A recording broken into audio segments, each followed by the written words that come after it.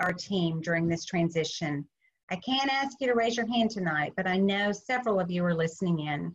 Thank you for your unwavering support. Tonight, I am so pleased to welcome Carl Wilkens as part of our permanent exhibition highlight series. This series gives an in-depth look into different parts of our permanent exhibition. From tonight's program on the Rwandan genocide, which is featured in our 10 Stages of Genocide Gallery, to next month's presentation on the history of Asian Americans in the US and beyond, we hope you will join us and keep an eye out for these programs. I'm especially pleased that our first virtual program features Carl Wilkens. He spoke at our previous Small But Mighty Museum in 2014, and all of us who heard him speak that night were changed for the better. For over a decade, Carl Wilkens has been speaking all over the world to inspire and equip people to enter the world of the other, urging his audiences to hold public officials accountable to doing all that they can to stop and prevent genocide. He was the only American who chose to stay in Kigali, Rwanda throughout the 1994 genocide.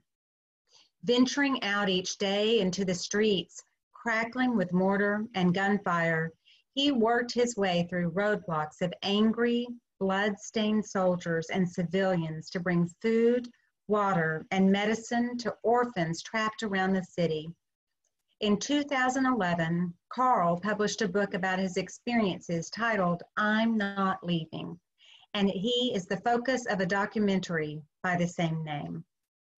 I don't know about you, but I know that I definitely need a little inspiration right now.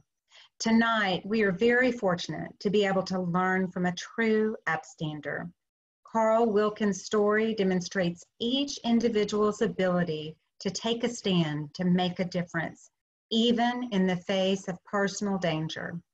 Not unlike the healthcare providers and first responders who are putting their personal health at risk to care for those who are battling COVID 19 here in Dallas and around the world. They are pretty inspiring too. As Annie mentioned, we will leave time for questions at the end of Carl's presentation. If you have a question, please use the Q&A button located at the bottom of your screen to type out and submit your question. And now, please help me welcome Carl Wilkens. I have a little message on my screen.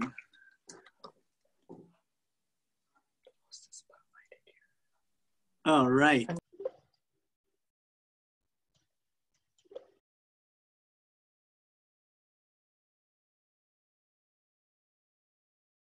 When oh okay you sure they're not calling you. Good good.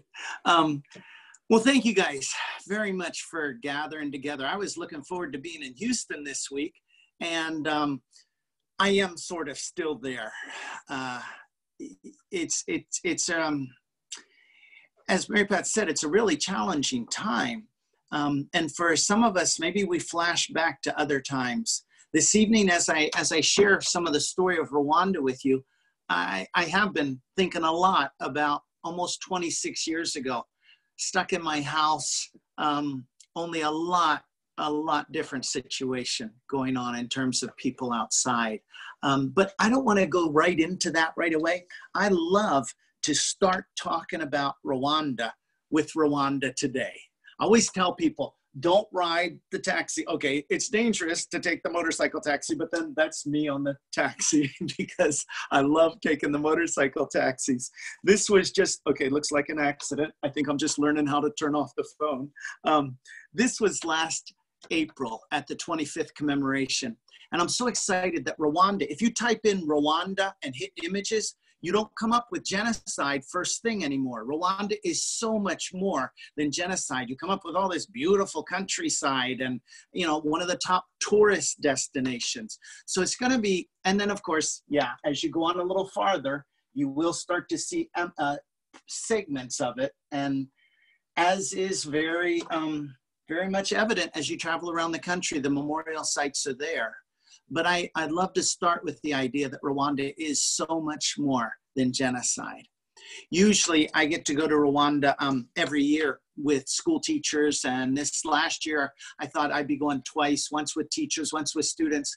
But I ended up going seven times to Rwanda, which is um, which was just incredible. My last trip was in December, and I was here in the state of the art um, conference center in Kigali, and we were having what I would call a reverse State of the Union address. Um, I say reverse because I don't know where we got the idea that the president should tell the country how the country is doing. Rwanda has, has it right. The people tell the president. People, citizens' priorities, government programs, how well are they meeting each other's needs? So for two days, the president is here. In fact, if you could see yeah, it's gonna be too hard to see detail. That little gray head right there is this gray head right here. I had a I had a great seat right behind the government ministers, and you might have thought that this would be a perhaps turn into a gripe session or a complaint session. Um, but they always started, true to Rwandan culture, they always started with a thank you for this. We appreciate that. You know, thank you for this early childhood development center in this community. In the neighboring community we're working, we need to get one developed here in this area. They always started with a thank you. I think probably one of the most moving uh, testimonies, though, during those two days was a young man. There was another arena about 15 miles away with probably 2,000 young people. Oh, by the way, I forgot to tell you, all scattered around the country are white event tents, you know, like at a wedding, an, an event tent, and high speed internet connection. So people were speaking right in on the big screens to the conference center. People were tweeting in their comments. They were WhatsApping. They were all the social media platforms. And the government collated all of that, responded, actually prepared a document uh, based on all of that feedback that is influencing this year's policy. Of course, Rwanda plans much farther ahead than just a year. When I was there, they were talking 2050. Um, so I am excited to get into um, Rwanda. We're going to go right back to 1990. Uh, I often ask students, um, you know, do you see any resemblance? My wife hasn't changed at all, but um, somehow I, yeah, I'm still glad to have hair. Um, but we were in France, learning French, 1990. Um, our two daughters had actually been born in Zimbabwe when we were working there, Zimbabwe and Zambia, and we moved to Rwanda in the spring of 1990. I was working with the Adventist Development Relief Agency the humanitarian arm of the Seventh day Adventist Church. And some of our first projects were building schools, super rewarding work, working there, doing that for the first four years. Quick little history lesson. We'll go back to the late, late 1800s. The Germans were the colonizers. After World War One, the Belgians were there. I'm not going to go into the program of eugenics. I mean, some of you are familiar with eugenics and, and particularly what we did here in America. But the idea among the Belgians was somehow we have to figure out who's who, who is superior. I'm, I am not going to lay the genocide at the feet of the colonizers. However, everybody had a, a role in, in playing, uh, in setting the stage, I guess I would say, for this horrible event that would happen um, in 1994. And so the Belgians developed their ID cards. As you can see on this card, um, it would have the word Hutu, the majority group there, uh, which is crossed out on this card, Tutsi. So evidently this person would be a Tutsi. Twa, the smallest group there, and naturalized. These cards would be like um, death warrants for the Tutsi people during the 1994 genocide um, to, to just kind of finish our quick little history lesson here. In 62, independence will come. Instead of saying we're done with this Hutu Tutsi, um, what do you call when you give people a quota system? Instead of saying we're done with this quota system, they, they, they started talking about Hutu power. Tragically, many Tutsi people were killed. Others were hid, protected by their neighbors. Many fled to the neighboring countries. I think they probably thought, we'll be back in a couple weeks, a couple months. No. Two years, ten, the existing government, 20 years, nope, there's no room. not welcome back here. So in 1990, mostly refugees will form the Rwandan Patriotic Front. And they will say, okay, we can't come home peacefully. We're coming home by force. And a war started for three years. Um, the Rwandan Patriotic Front was led by General Paul Kagame, who is the president of Rwanda today.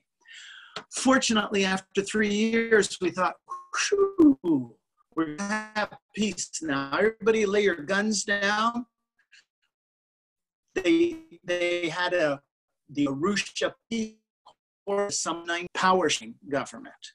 But unfortunately, that government was delayed and delayed. Didn't happen in December like it was scheduled, didn't happen um, in January. By now, about 2,000, 2,500 UN troops had arrived in Rwanda saying, hey, good job, Rwanda. The whole world is here with you. We stand with you. You know, that idea of presence. And they did make a big difference in terms of helping people, whew, this is going to be okay. But tragically, this is going to be one of the worst examples of a false sense of security. When April finally comes around, I actually included this picture a little bit a little hesitant. This is this is the picture of the men and women, the core group. It's actually a picture out of the Kigali Genocide Memorial. The core group of men and women who we would say are the authors of the genocide, the planners, the executioners of the genocide. Front and center, this gentleman with the beard, we're going to refer to him a little later in our story today. Kambanda was appointed the prime minister. You see, um, the president's plane, well, let me, let me just touch on genocide for a minute. I know most of you are familiar with this word. As I travel and, and uh, have conversations with students about genocide, I haven't found a more um, a more direct way, a more understandable way of describing where genocide comes from. Where does this come from? How can how can people this is my little visual aid how can people go from kind and generous to murderers and and and then of course what we're what i'm excited to talk about this evening is is it possible you can't go back life doesn't go back is it possible for them to ever be kind and generous trusted neighbors again? And this idea that my world would be better without you in it is is false there's no such place as my world except in my head. But we're working as we study these stories and exploring how we can transition our thinking from my world thinking to our world thinking. So I wanted to just really make sure I was clear on this point that the Rwandan genocide was not about Hutus hating Tutsis, Tutsis hating Hutus. This was not a tribal um, grassroots movement. This was politicians manipulating the needs of ordinary people to achieve their ends of staying in power, of eliminating the opposition. The, the Hutu and Tutsi people married each other by the thousands. In fact, the planners of the genocide had to work hard to break the bonds between Hutus and Tutsis. And so, um, with that little bit of background, we'll come to that night around 8 o'clock, as I remember, Wednesday night, April 6, 1994, my parents were actually visiting, and dad says, Whoa, heard that explosion? I said, Yeah. He says, What do you think that was? I said, I don't know. We had heard hand grenades and gunfire, but this was a lot bigger than that. And it wasn't long before the phone rang and we found out that um, the president had been killed. And, and it wasn't just the phone call. We started to hear gunfire. Kigali is a city built on hills, and those gunfire that would echo, echo ricochet, kind of like cascading water, as it would ricochet throughout the city. And the killing started, it's documented, less than an hour after the plane was shot down. Thousands of people every day. Um, General Dallaire, the commander of the UN force, had to be one of the most tortured people at that point in time, not, not trying to compare it to the Tutsi people who were hunted and, hunted and killed, but he was representing the world. And he had enough soldiers, if he would simply have the support to stop this. First time since the end of World War II, when the whole world was saying this phrase, never again, people saw the Holocaust and they couldn't imagine that that was even possible in the furnaces and, and all of the horrors. And they said, yeah, never again. And now we had soldiers in a country that we didn't have to knock on doors. Can you give us soldiers? They were there. They could have stopped it. But New York would not listen to their people in Rwanda. And, and that's probably a theme you're going to hear a couple more times this evening about the benefit or the disaster of not listening to the people on the ground. So, for the American government, for most other embassies, all other, in fact, that I know of, they, they made the decision real quick. Ours was made on Friday. Plane shot down Wednesday night, Friday. Everybody's leaving, they said. Um, the American, Canadians, and Germans said, ah, probably not a good idea to fly out. We think that's too risky. I don't know if they were thinking about the president's plane being shot down. We're driving out. And they said, uh, I had actually been meeting at the embassy for several weeks with situation reports. We had planned if things, because we knew we were sitting on like a keg of dynamite, but I think it was this overly optimistic hope that we had that it would be diffused and, and, and peace would come. So we had assembly points identified. We put the evacuation plans into effect. First convoys leaving on Saturday, the, the last convoys on Sunday. Made it really clear, bring, bring, of course, bring your family. This picture was probably about a week before the, the genocide happened that my mom and dad were visiting there. And um, yeah, of course, bring your mom and dad bring your family. In fact, you can bring anybody you want in the convoy except Rwandans. We rightfully, we rightfully condemn the planners of the genocide for killing people based on their ID card. However, the American government made decisions and again, there's plenty of stories of the American government, Washington, D.C., not listening to their people in Kigali. Um, but Washington, D.C. made the decisions and uh, called the shots, and, and um, they said, don't bring any Rwandans. We'll be stopped at many roadblocks before we get to Burundi, the country to the south. I, I, didn't give you a little geography. We're right in the middle of Africa, if you haven't looked at that lately, right below the equator. Um, don't bring any Rwandans. Well, our family wasn't just our children and mom and dad. We had been there for four years. There was a young lady who lived and worked in our home who loved on our kids. And when somebody loves on your kids, that's like fast track into family. She had a Tutsi ID card. The young man who came in the evening as the watchman, he had a Tutsi ID card. They were both marked to be killed. And the embassy is telling us, in effect, to leave part of our family behind. Teresa and I went into the bedroom. We talked, we prayed. We just, we couldn't see our way clear to leaving them, pretty much convinced that they would be killed. And Rwanda, we had enjoyed this incredible um, privilege. The people of Rwanda are hospitable and generous. And I know sometimes I'm like, do you hear yourself talking? You're talking about a genocide on one hand, and you're talking about people who are hospitable and generous on the other. But I would put forth to you that it only takes a couple of cells, like cancer, a couple of cells of discrimination, of of um, uh, when you when you hire, yeah, discrimination. What's the other word I want to use there? When you are um, uh, dividing people like apartheid and all of these things, it, it doesn't take much to spoil a country in terms of that kind of poison thinking. Fear, like gas on the fire, and this idea of us and them.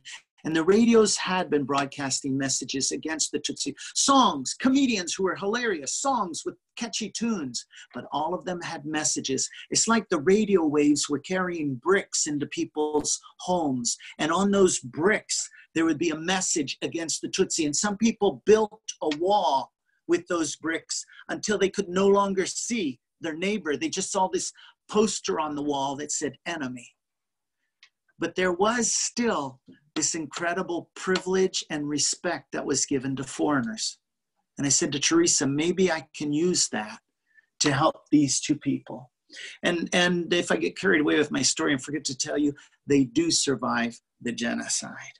So, Teresa, um, I will actually I had built a little pickup camper, uh, a little camper on the back of our pickup truck. I, I used to be a shop teacher, you know, auto mechanics, welding and stuff. You look at the kids, they don't look terrified here. I, I give Teresa so much credit for for doing what a lot of moms do in these situations tell you it's going to be okay i'm not going anywhere we're going to make it and so Teresa and the children, as I said, they drove out. My dad was the one actually who was driving. Teresa, the kids, and, and their grandma, my mom, were in the back with the curtains drawn. And so Teresa doesn't want to go back to America. She's afraid of losing contact. She'll have to eventually leave Burundi to go to Nairobi. But um, the best part of every day for me, every day during the genocide, was to talk to Teresa on the radio. I'm going to just give us um, a couple of quick snapshots of 1994, and then I want to move forward into Rwanda's journey after the genocide.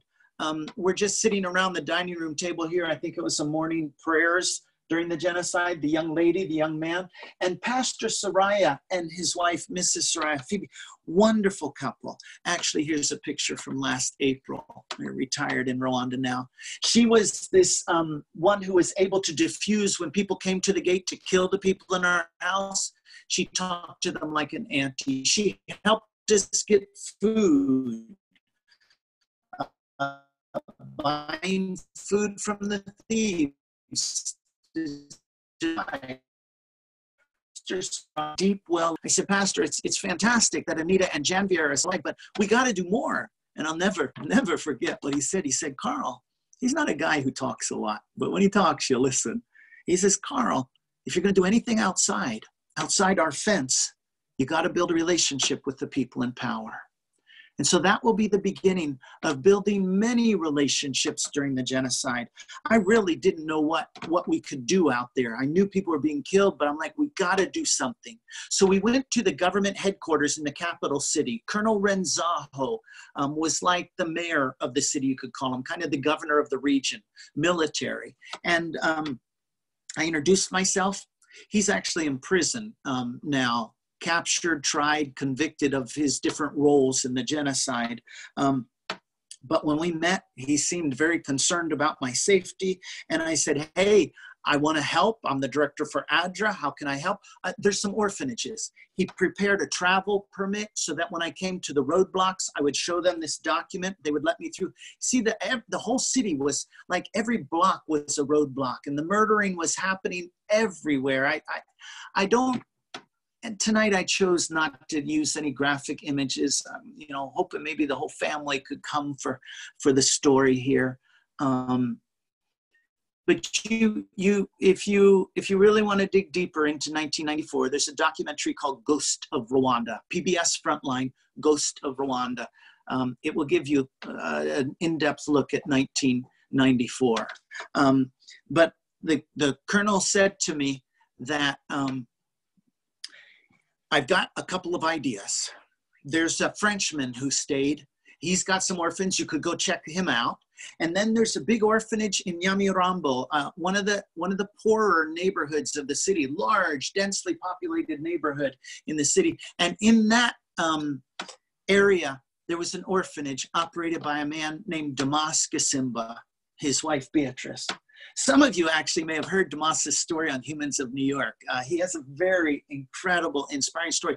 I'm going to think, I think Damas was probably around 34 at that time. This 34 year young man and his wife with their new baby um, are, are housing, well, started with 80 kids and then it went on to 180 200 by the time the genocide ends there'll be more than 400 children there and and so I will go. Actually, the first time that I arrived there, I um, I saw little piles like dirt. Something was dug up in the in the parking lot. What? And he told me it was graves of the children, not ones who had been killed by the genocide. Well, yeah, they were killed by the genocide, but another form of murder. They they they died of diarrhea and dysentery. They had no water and so that was the first, and that became the primary work of myself, one of my colleagues from ADRA, Dawson, who was working with me, another colleague from ADRA, Gasigwa. These, these gentlemen just um, uh, Elise, they're just uh, courageous men. And you know, um, while Gasigwa was helping me bring water back home, he had more than 40 people he was trying to protect in his, well, he was protecting at least for as long as he could. It's, it's, um, it's a remarkable story. When, when his neighbors came to kill. I mean, they had been listening to the radio. They had been building these walls, you know, out of the propaganda. They couldn't see, you know, their neighbor. They just saw the enemy. But Gasigwa didn't see the enemy. He saw neighbors. And and when I would say there's a couple of killers, Gasigwa would say, no, those are fathers. And, and he came out of his house saying, Bernard, your daughters must be hungry. Maybe the night before, Bernard had put his little girl to bed. Daddy, I'm hungry. Here, love, take, take a little drink of water. No, no, I, I'm, I want food tomorrow. And how could he imagine that tomorrow, when he went to kill somebody, he would be greeted with kindness? Um, excuse me, Gasigwa just is one of uh, of many. I'd like to say many people who really exemplify. Um, this is kind of my little how the world works here. everybody wants purpose, everybody wants community. But if we'll start with an environment of respect, where where everybody is valued and we can learn each other's stories then the empathy just begins to grow. I say, hey, do you have any brother? Oh yeah, I've got. Oh, I've got two brothers. As soon as we hear each other's stories, we begin to connect the dots, and empathy begins to grow. The power of stories is is, I think, one of the most powerful forces on the world. And when we begin to learn each other's stories and we begin to connect the dots, and the empathy grows, we're like, hey, why don't you come home with me? Huh? Inclusion doesn't become some forced idea. It becomes the icing on the cake. It becomes just a natural response. I think we're wired for empathy. I think we're wired, I know we're wired for community. And so Gasigwa is just to me a, a, a, an, an inspiring example of how an environment of respect can promote the growth of empathy and inclusion. These are a couple, as you can probably tell, three of my favorite values to explore during that time. But let's um, let's wrap up. What time do we have here? I gotta look at my watch. My timekeeper is right here with me. Okay, 25 to. So the last little story from 94. Gasigwa and I show up at the orphanage towards the end of June and we're surrounded within five minutes by militia guys with their machine guns and their machetes. They had said the day before, We're coming tomorrow. I don't know why they gave warning. Often they didn't give warning. We're coming tomorrow. We know you have to empty this place because anybody who remains, we're going to kill, which was really un, uh, unusual. It was very unusual for them to, to give warning before a massacre. Maybe it had something to do with the respect that they had for Damas, the director. I'm not sure. But the short version of this story is we're going to have about a two hour standoff, maybe three. Hard to keep track of time in, in moments like that. But they weren't coming in as long as I was there, it seemed. And eventually I got a hold of the Red Cross. I mean, it was terrifying there in the orphanage. The kids who were looking out the window, they, they recognized these men as people who had killed their parents, their siblings. This I can't begin to communicate to you the um, the trauma of that moment. Um, let me just pause for a minute too.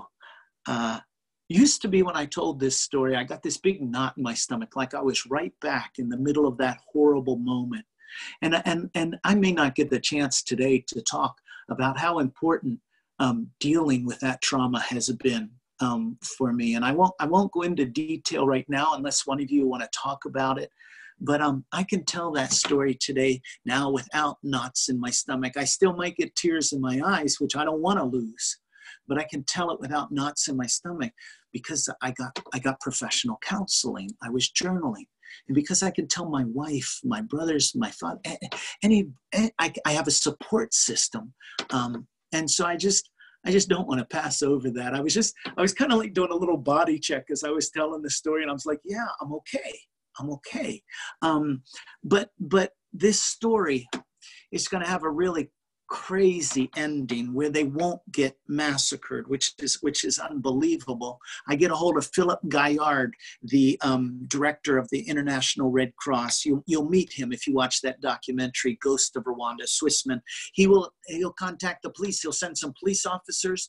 They'll come, about seven of them. I'll say, "Man, I'm so glad you're here," and and he'll say, "Would you spend the night?" I said, "No, no, we're too outnumbered. You go get help." And then I got this terrible dilemma. Do I do I leave? because it seems like for some reason as long as i've been here i don't know if it's i don't know why they have different perceptions i don't know why but as long as i've been here they haven't come in what if i leave and what if these police officers join in the massacre because i had heard about police officers participating in the genocide i had also seen police officers help me in my work i finally decided to trust him and i left i went to the colonel's office which um, I knew he wasn't there, but I didn't know where else to go. And the secretary said, Yeah, the colonel's not here, but the prime minister's here. Now remember, well, no, I didn't tell you this part. I, maybe I didn't mention the prime minister was killed the second day of the genocide. This light image you see of a lady here. And this guy, the bearded guy who I pointed out in the center of the in the photograph of the people who planned the genocide, Kambanda became the prime minister. And she's saying, he's here, a surprise visit. They had moved the government out of Kigali because it was too violent, too much war. And, and she's like, he's here on a surprise visit. Ask him for help. And I'm like, whoa, whoa, whoa, wait, wait a minute.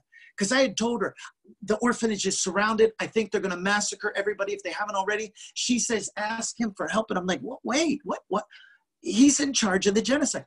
I didn't argue with her. I simply went out in the hallway, waited. I asked him, and he stopped the genocide.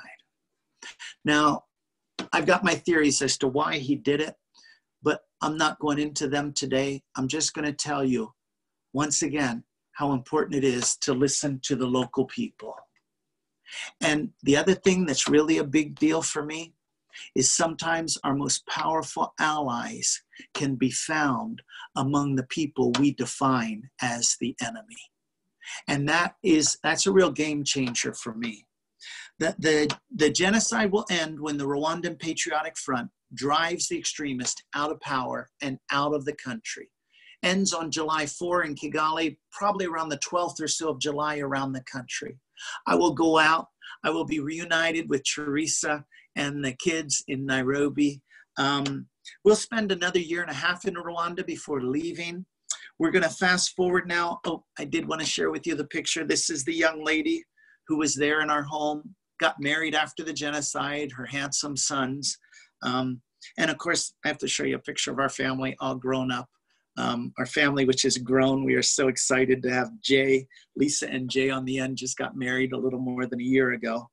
Um, and I was back home for probably about nine years before I took my first trip back to Rwanda. And I've been able to go back pretty much every year and sometimes multiple times. Well, last year was a record. Um, usually I'm going back with students and teachers. This was a group of students from Chicago this last summer, and then a group of teachers from all around the US. We're actually at uh, Sina Gerard. Any of our Rwandan friends who are watching, they know this man for his hot sauce and his innovation. I mean, talk about innovation. I couldn't resist putting this picture in. Huh? You just see a tree, but if you, we can zoom in close enough here, you will see blue water bottles, like from a cooler, hanging from the tree, cut. These are hanging gardens. We have carrots growing in a tree. This guy is an incredible innovator. But okay, back to our back to our story.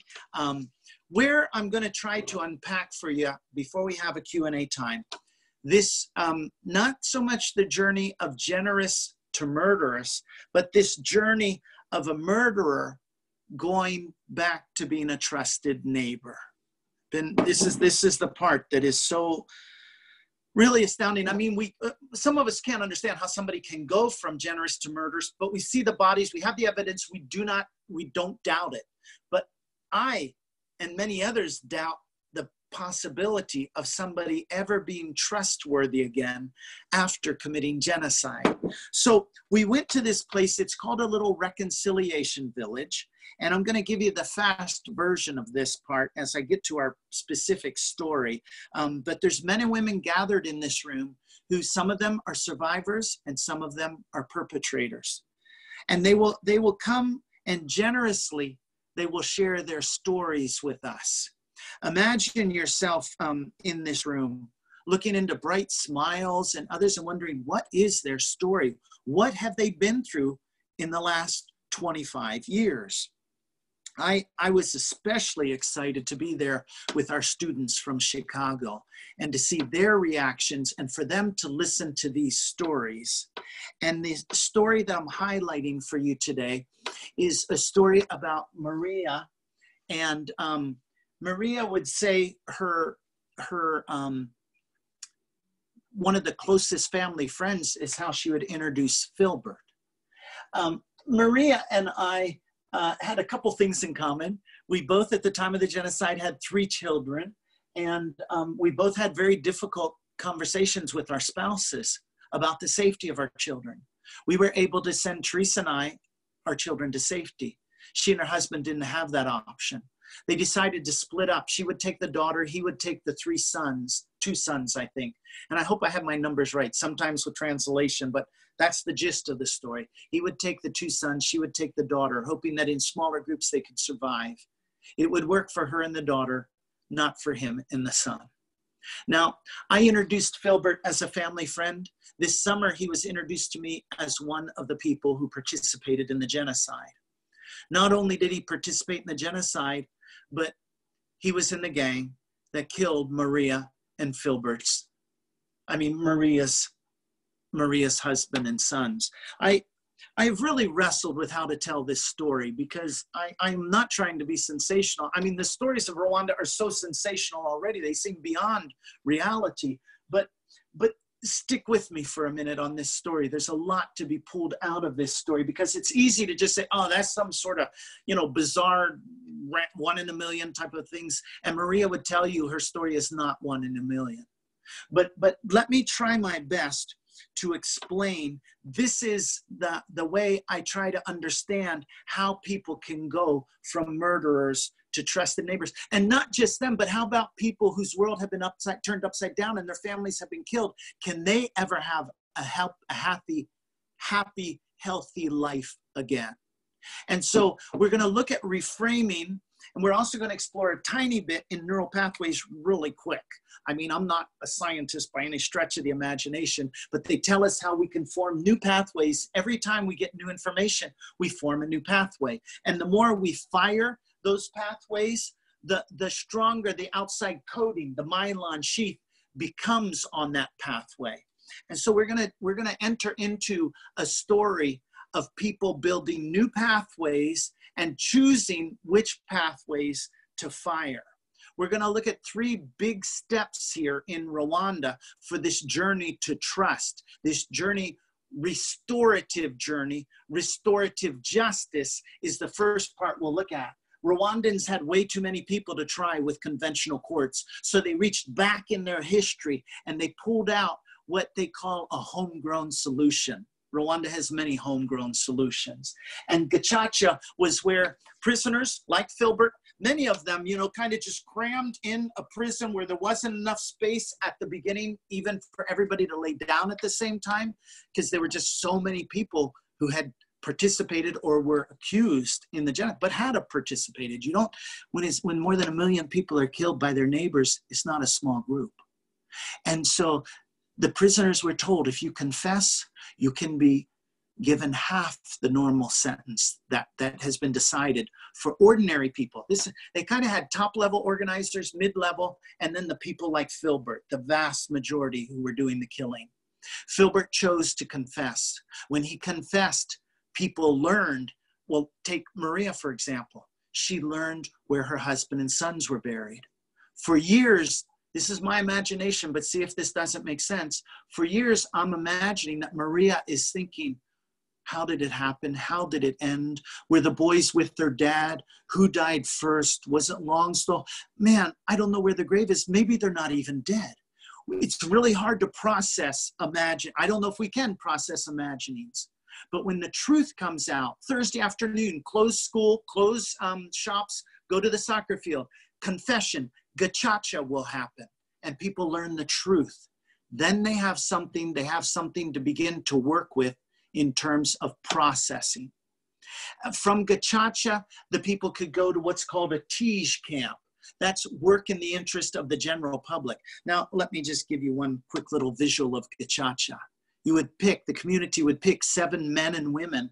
This little um, sash that they're wearing says a person of integrity.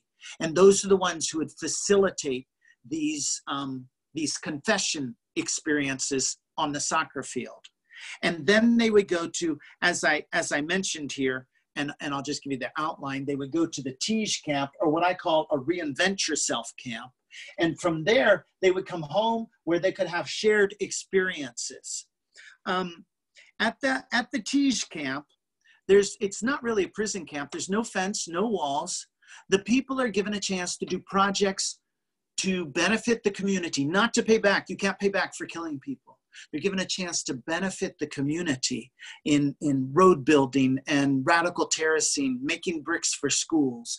Maybe they even could go to church if they on the weekend, put on civilian clothes, go to a local church. Imagine you're in a church and let's say we're singing Amazing Grace. We're in a church in Rwanda, okay? Amazing Grace, house, and all of a sudden the, the music, the volume goes down. As they look, one of these ladies comes walking in the church what pathway do you fire in your brain? Do you think, wow, I'm glad she's here? Or there's somebody from the camp. Do you call it a killer camp? Do you call it a teach camp? We have choices what pathways we're going to fire. And then she starts singing and, and that saved, oh, wretch. And she got a, she got a beautiful voice.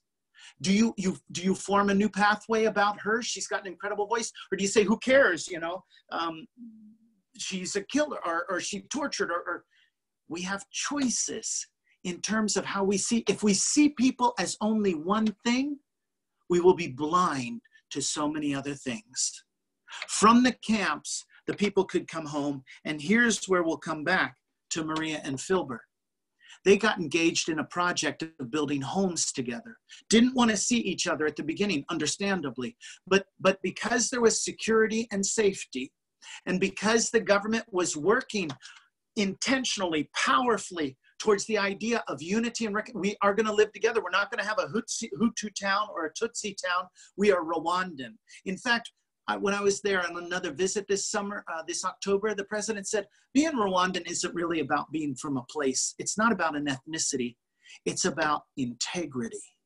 And that new identity that is being developed and grown in Rwanda is really making a difference. Not everybody is like Maria and Filbert. I mean, as they went on and had shared experiences and build new pathways in their brain, man, Maria built such so many new pathways in her brain that when her she so redefined Filbert, she allowed Filbert to redefine himself, and she she says he helps me like my sons, um, and he does it willingly.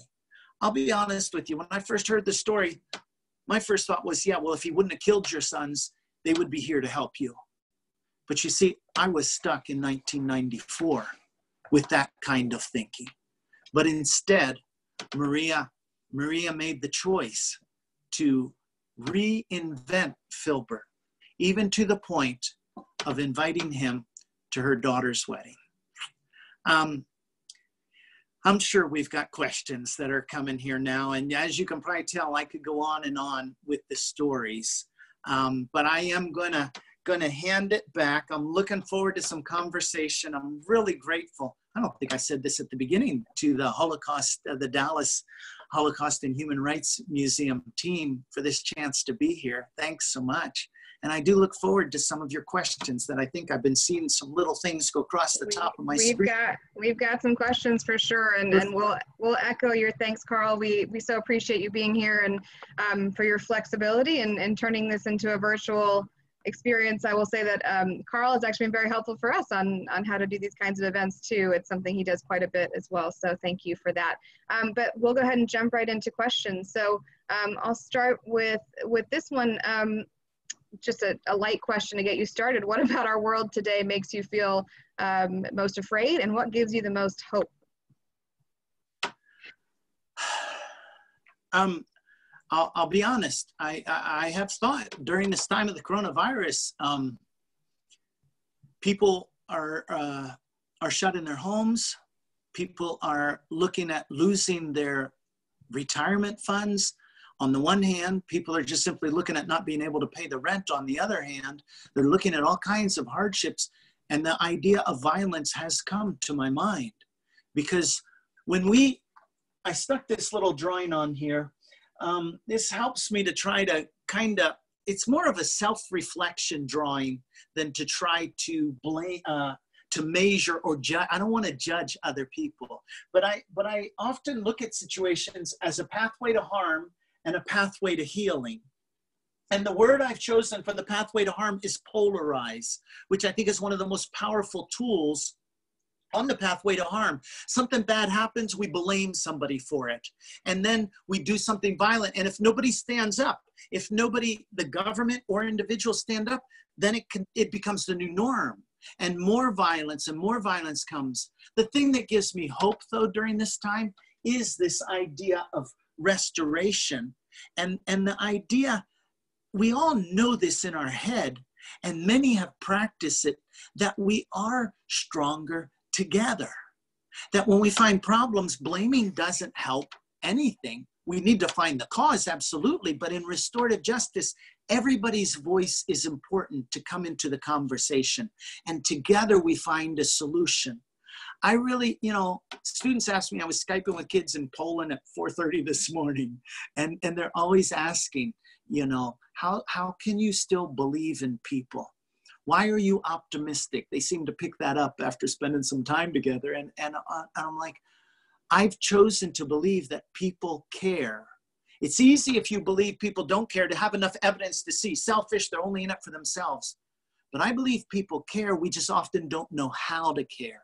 So that's why I'm excited about all kinds of little tools and graphics that we might talk about a little more this evening about how and why people do go from violent, I mean, neighbors to violent, and they go back. And, and there are, in Rwanda, I would say we have a lot of people on the end of the spectrum towards Maria, and we still have people on the other end of the spectrum really hurt and really angry. And we have a large mass in the middle. And I am I am super optimistic about the power of stories to connect us, empathy, and then as we practice inclusion, if we look around during this time, we will see um, who's the guy from The Office who just started the John. Uh, yeah, I just started this what, what good news network? We, we look around and we find there's a lot of evidence that people do care. They just need to know how to care. Thanks for that question. I sent that John Krasinski video to my team. That made me happy too. Um, oh, thanks. Next question. Um, so within the actual 100 days of the genocide, was anyone using the term genocide? Um, I feel like it was right around the end of April that I first started hearing it being used. Um, I had communication every day with Teresa, but when we talked, we didn't really talk a lot about the genocide or world events. We talked family talk. My connection to the world was through the BBC. I had a little shortwave radio in my house. And um, I believe it was towards the end of April that I started hearing this word. And you know, I'm kind of, well, I'm, I'm a bit embarrassed to say that I didn't know much about genocide in 1994. I knew about the Holocaust and I had read stories and studied, but I didn't know much uh, about the Cambodian genocide and the other genocide, the Armenian genocide. I, I didn't know much about it. And so it was the end of April that we started hearing that terminology. And I'll just add on um, if you watch Ghost of Rwanda, you know, they, they definitely dance around not using the term as if if they use the term, they would have to do something tragically with the genocide in Darfur that is still like a slow motion lingering genocide. We called it genocide and we still haven't taken definitive action to end it. Thank you for that. Um, I have a, a question from a, a, university professor now, who actually her students just watched Ghosts of Rwanda and uh, read work okay. by Samantha Power. Um, it said that she's noticed that over the past 20 years she's been teaching, her students often know little about the Rwandan genocide um, or other, other things like Myanmar uh, when they come into the class. So do you have any thoughts on when and how uh, genocide should be addressed in the, the K through 12 education system? Oh, um, absolutely. I, I, I love getting in with first graders and second graders. And we start talking about respect, empathy, and inclusion. No, we're not using graphic images and we're not even using the word genocide, although we do use the terms us and them. I remember asking some first and second graders, um, do you guys know what empathy means? And this one little guy is like, oh, oh, oh, oh. And so I call on him and he goes, um, um, and about 10 ums later, he says, feeling what other people feel? And I'm like, yeah, way to go. And so definitely we can start age appropriate with these basic ideas of we don't solve problems by getting rid of people. We solve problems by bringing people together, more heads, more wisdom, more experience, more potential for creative solutions. And so I definitely um, believe that we can't we can't start too too young. I think I think the problem is sometimes we have we have kind of locked genocide or Holocaust in its own little box. And, and it is a very unique, specific event that happens with very defined, you know, um, parameters and causes and stages in there. But when we look deep at it, I believe we come with that basic definition I had earlier. It stems from thinking that says my world would be better without you in it. And then and then we have conversations about the power of words and and how words are um, forming pathways in our brain. And even though I say, oh, I was just joking, it's making pathways, and those pathways are unconsciously affecting other pathways. So I think we can start right right as soon as we're interested in stories and there are wonderful storybooks out there too for the little ones about why why does somebody care about how dark my skin is we have all of those different stories and resources thanks for bringing that question Great, and I'll give a, a, little plug for the museum here. We're actually doing one of our virtual series that we just started as a, a story time for little ones teaching uh, inclusion and tolerance and empowerment through through nice. those kinds of books you're talking about. So that's Friday mornings at 9:30 if anyone's interested in joining us. Um, this next one's sort of a two-part. Um, I'm going to combine two two different questions we got. Um, so what you know in this reentry process that that you were describing uh, in Rwanda, what does that recidivism rate look like? And do you see any examples of similar kind of restorative justice here in the U.S.? Mm, nice, nice. Thank you. Um, really like that. Uh, I'm. It was interesting. I've probably visited about seven uh, or eight prisons in Rwanda. I've had a lot of conversations with prison personnel and some limited conversations with prisoners. I remember asking one assistant warden, I hope this isn't an, a, a, a, bad question, I said, or a, or a inappropriate question, but can you tell the difference between prisoners who are here for genocide and prisoners who are here for other crimes? Oh, yeah, yeah, absolutely, he said. Um, actually, the ones who are here for genocide help us in resocializing the other prisoners. You see, the ones who are here for genocide, they were school teachers, they were lawyers, they were, you know, um, nurses, they were all kinds of the whole farmers and carpenters and everyone else. And um, it, it is really an interesting subject. So the recidivism among the people who committed genocide, way, way, way, way, way low. I, am sorry I don't have the exact figures, but really, really low. And this idea that they had of if you'll confess, you can come to this TIG camp, this reinvent yourself camp. Um, I will just leave that that uh, slide on the screen here for just a little bit longer as we talk about some of this.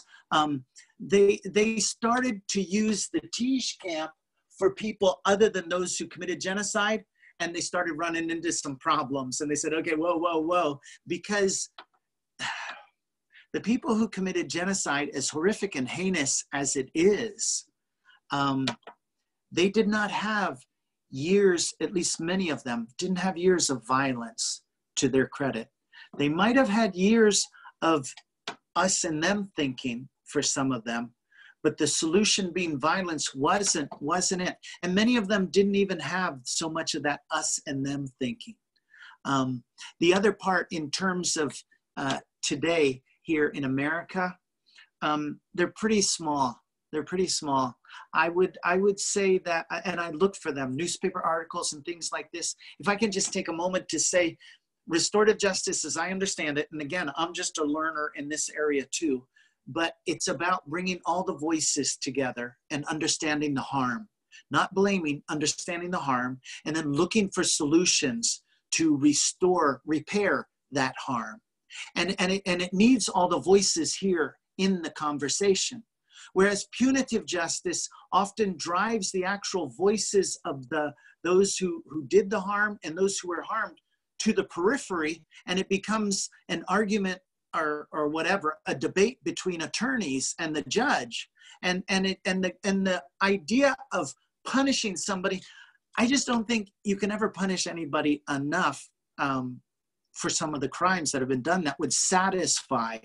I'm not saying they can't be punished enough, but that would people would say, okay, that that that satisfies it. There seems to be an insatiable appetite for for um, for a price when you're looking at this exacting a price from somebody.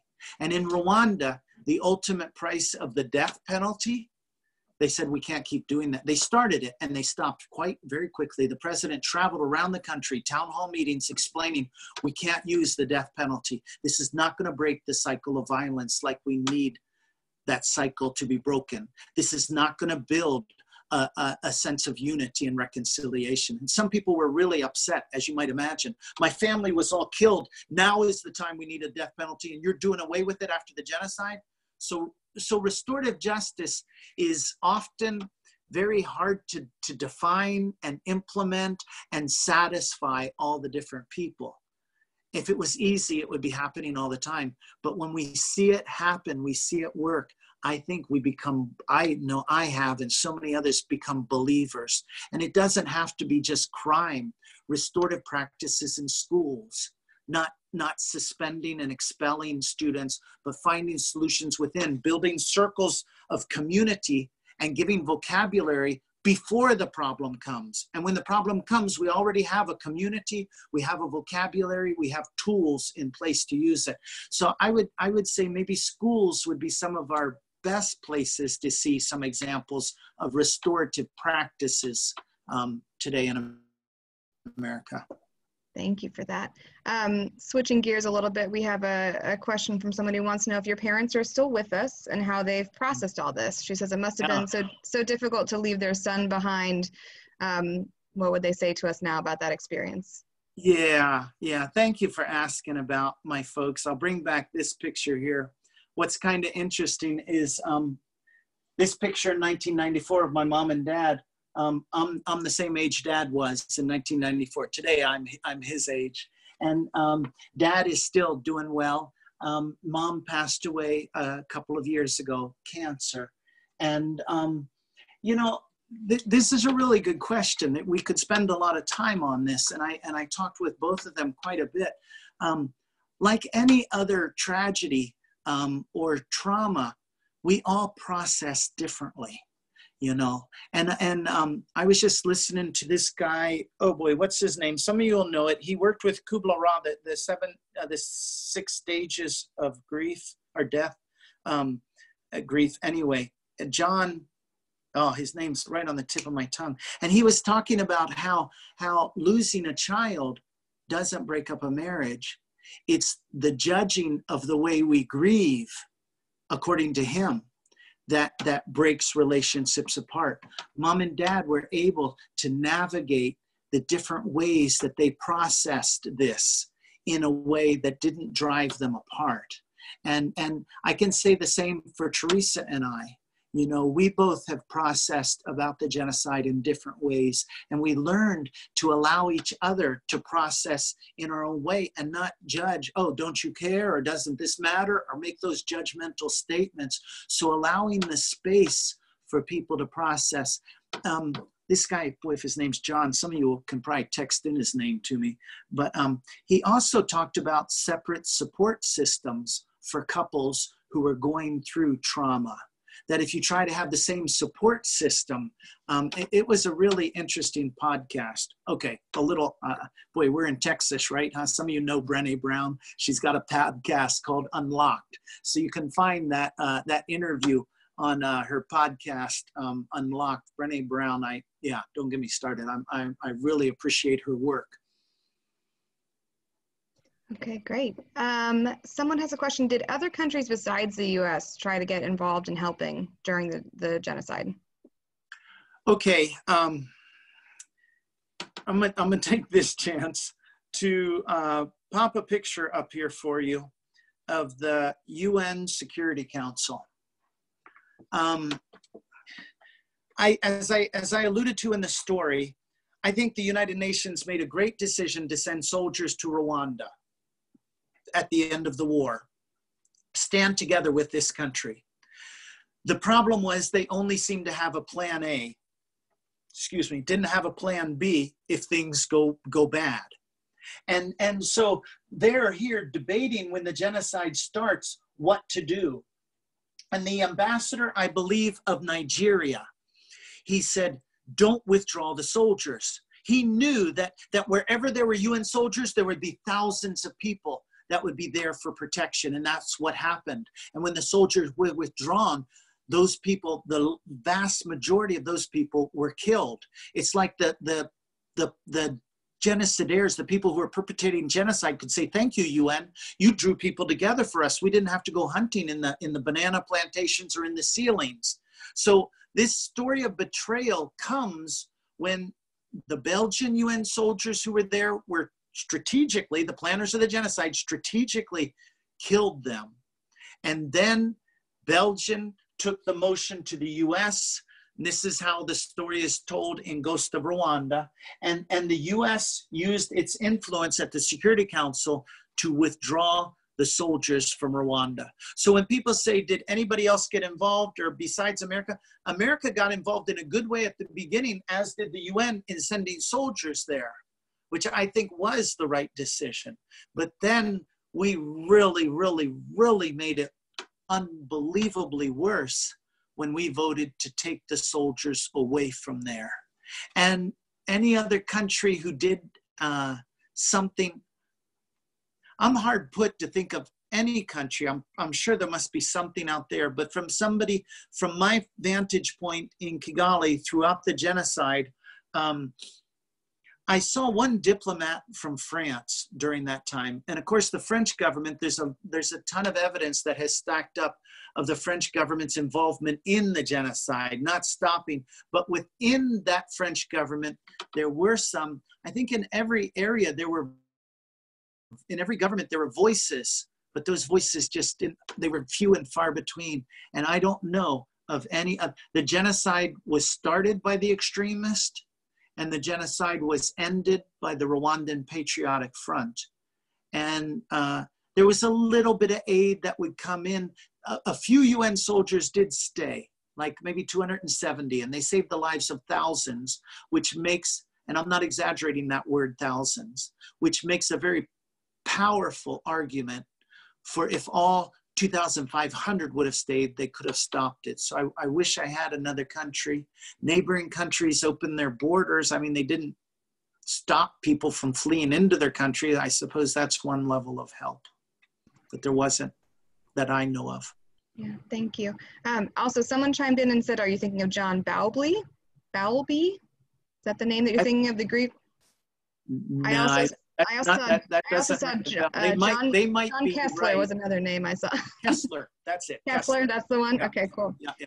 Um, well, I, we think we have time for a couple more questions. I actually wanted to start with a, a, comment from one of our staff members who wanted to make sure you knew that um, Lydia, who was in one of the orphanages um, that you helped protect, spoke at our opening last September and said that you were her personal hero. So we wanted to make sure that you knew she was with us for that I, event. I watched Lydia, uh, Lydia's speech online. She did an excellent job.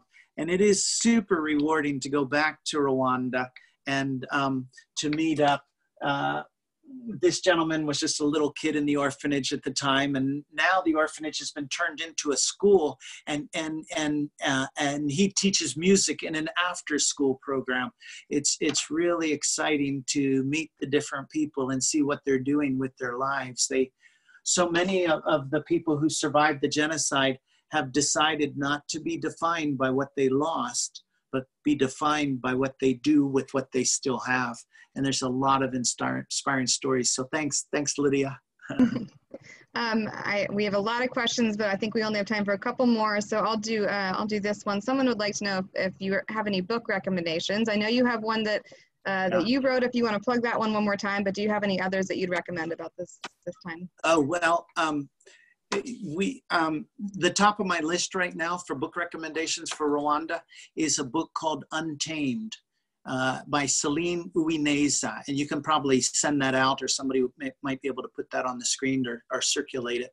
Um, the reason I really appreciate that book, the first half of it talks about um, her experience as a child during the genocide.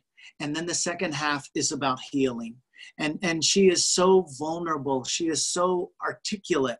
She is so passionate in, in, in, in sharing her journey of healing. Um, vulnerability we we are we some at least are beginning to realize the power in vulnerability and how we realize that hiding these things and and this you know pressing it down and saying just move on and stuff it it it, it doesn't work that way for at least most of us and so i really appreciate her book untamed um, I think that if somebody wanted to, well, you mentioned our book, I'm Not Leaving. I, I did make tapes to my wife during the genocide. So we have a little book that uh, that's based on those tapes to my wife and, and children. Um, but another recommendation from that time uh, I would, uh, that comes to my mind is um, um, Stephen Kinzer. Uh, boy, the name, some of these books have long titles. The Rebuilding of a Nation and the Land of a Thousand Hills, Land of a Thousand Hills, The Rebuilding of a Nation and the Man Who Dreamed It. Look up Stephen Kinzer. Um, a, a, that book also has a good chunk of it about the recovery story there. Even though it's several years old, it's got a it's got a good yeah. Please, I, would be happy to share. Um, Celine's book, uh, Untamed, is just a great. It's a short read, and it's like I said, it's very um, it's it's it's one of the one of the best ones. It's on the top um, of my list in terms of understanding some of '94. I mean, it's hard to tell the whole story, but then that journey and afterwards, and how do we deal with trauma? One of the biggest things that um, that is obviously important in my life, but I think we learn from there. Um, some of the other books, some of the, you know, the, the good standby ones, Philip Gourevitch's book um, is another long title name. We regret to inform you that tomorrow we will be killed along with our family. Um, would be a, would be another one. A um, a really interesting piece is on Netflix um, right now. Morgan Freeman, and it's it's the series is called The Story of Us, and it's the second episode about 30 minutes in. And you'll actually meet, uh, Morgan Freeman will meet Maria and Filbert, who I mentioned earlier here. Um, and, uh, uh, and, and they get to meet Morgan Freeman. Um, but uh, that's, a, that's a really interesting piece too. Um, boy, in terms of other books right now. I think you've given um, us a, a, good list to start with for okay, sure. okay, thanks. Um, all right, well, we'll end on this question. I think this is a nice one. I don't think she'll mind me uh, calling her out by name. This is from Kathleen Cadigan, who's a, an educator at Thomas Jefferson High School here in Dallas. You have visited with her class before, and she yeah, says I remember. they're sorry to miss you this spring. Um, but she asks, what message do you have for young people who study the beauty and terror of Rwanda and are looking at the challenges of the world today? Hmm, hmm, good, good, good. Um, well, the story of Rwanda has really motivated many people to to get involved in building a more peaceful um, world. It, it has really motivated many people into activism. And I think the first thing that kind of comes to my mind with activism, as I've been involved for quite a few years, is how easy it is to burn out. And so I think probably one of the first things I would say I don't know where I learned this. I've looked all over the internet, so I don't take credit for it. But the idea is that if we hate evil more than we love beauty, we're like on a on a on a track for a train wreck for burnout. We've got to, in fact, the brain people tell us negative stuff sticks like Velcro, positive stuff slides off like Teflon. We've got to look for the good, finding the good. When I go to Rwanda with teachers, the first day I say, look, guys, we're going to see stuff that could destroy a person's soul, their belief in humanity or life or anything. It's horrible. And, and this evening, I didn't go there. I, I definitely gave a light version of, of Rwanda's story, but it can be, it can just destroy as you listen to the testimony of survivors and things. And so every morning and every evening, we have a Finding the Good session where each teacher, a different teacher, every morning and every evening leads a conversation. What did we see good today? What did we see beautiful today? And if we have trouble finding the good in situations, my little formula is be quiet, be present, memorial site, a really tough one in Rwanda called Murambi with some students. It's a very difficult memorial to site, site to visit, very graphic. And a kid was just feeling, he told me later, like just crushed underneath it. But he said, I remembered to be quiet, be present, be patient. And in the quietness, I heard a cow. And then I heard some kids laughing. And then I heard some music on a hill over there. Um, to have centering techniques is so important in in um, dealing with this trauma. And and i think we need to understand that the the horrors the graphic nature of the horrors often is what people think we need to bring about sustainable change. If we can just shock or or you know show them we'll we'll wake them up and they'll change. Well it can shock and it can wake people up but i don't believe that those prolonged engagement in the horrors is is effective in building sustainable peace.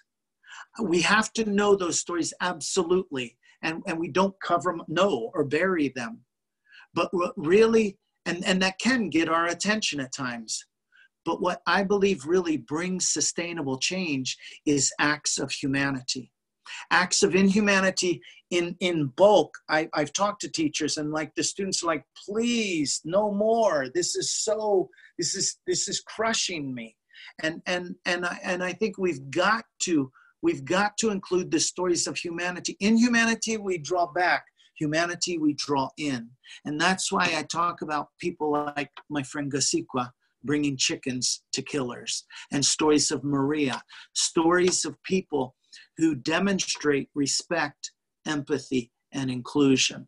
So thanks for asking that. I'm a big believer in finding the good. And you know, one of my one of the students that um a school that I visited, she wrote me a letter, and from her letter, I did this little this little drawing. And I would say that this would be something too, not just for high school students, but for all of us if you can figure out my code here, this is supposed to be a stop sign, you know, with a line drawn through it.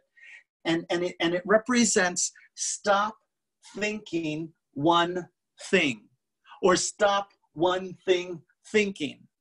You know, when I saw Filbert this last summer and I simply got stuck in 1994, I was only thinking about 1994. When Maria looked at Filbert, she saw a totally different person than the person than I saw because she had been through shared experiences with him. And she had courageously made the decision to not only accept his apology but also accept his his offers of kindness. And and as i said even to the level and i don't i'm not saying everybody should do this by any stretch of the imagination but when her daughter got married they didn't just invite filbert to the wedding but they also asked him to be the mc and I was just like, whoa, whoa, whoa, wait a minute, Maria. And when I got a chance to ask her a question, I said, Maria, didn't that make your family upset when you invited him? Any other family who had survived? And she says, Yeah, but his family was upset when he asked my daughter to be the godmother of his children. And, and Maria demonstrated the last thing. You guys are really humoring me here. The last little tool that I'd like to put forth here is, is this one of asking myself, who's in the center of the universe? I said, Maria, wasn't your family angry? And I had Maria right in the center, and she said, Yeah, they were. But then Maria very deftly stepped out of the center and put Filbert in the center and said, But his family was also upset with him when he asked my daughter to be the godmother. I think our ability during this time of the coronavirus and stuff to step out of the center, to, to step away. Uh, I should go through this whole thing without mentioning it, but to step away from hoarding toilet paper to to actually putting somebody else in the center and you did that at the beginning of this program or, or mary pat mentioned the healthcare workers right now and what they're doing at this time i think our ability to develop sustainable peace is directly linked to our ability at times there are times we need to be in the center of the circle and, and you could explore um, self compassion check out some of kristin neff's work about self compassion but but if we spend the majority of our time in the center, we're, we're not gonna, the empathy will not begin to grow. We will not be able to build. Um, we won't get through this virus thing in a positive way. My hope is we come through this virus thing, and these are actually the words of my friend Keel, that we won't come out the other side still thinking the same way and behaving the same way that we went into the virus and uh, to this virus right now. And I and I believe that this is for me personally a really effective tool. Asking myself, you know, when the guy cuts in front of me on the freeway and I feel my blood pressure raise a little bit. Okay, who's in the center? Maybe he just got a call and his daughter's, you know, in the hospital.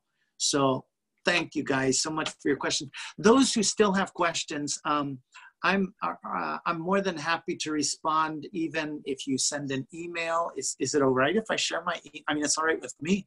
Uh, Anna, you just yeah, we can. If you want to share it here, or if you if you'd like, I can send it send it in email to everyone who attended. Is that all right with you?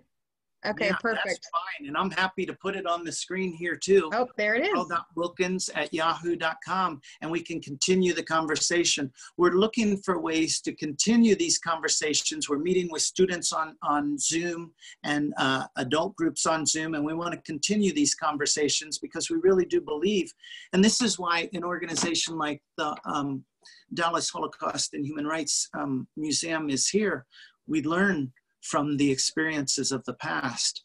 And we and and in Rwanda's case, we have so many of the people still with us that we can learn from. And so what are these stories from the past? How do they inform our thinking and our feelings and our choices today? And we want to continue those conversations. So I'm looking forward to checking out too more of the uh, resources you guys have on your website there at the museum and uh, yes. uh, when we can come together. Thanks so much for hosting this. Thank you so much, Carl, and thank you everyone for being here. Um, I'm, thank you for putting your email up. We had a lot of questions we couldn't get to, um, and I'm going to steal that finding the good moment twice a day. That sounds like a good thing to do right now. So uh, thank you again, and thank you to everyone for your patience as we experiment with this new platform. We hope you'll join us for some of our other virtual programs coming up and stay in touch. And, and thank you again, Carl. Everyone have a good evening. Thank you. Take care. Stay healthy.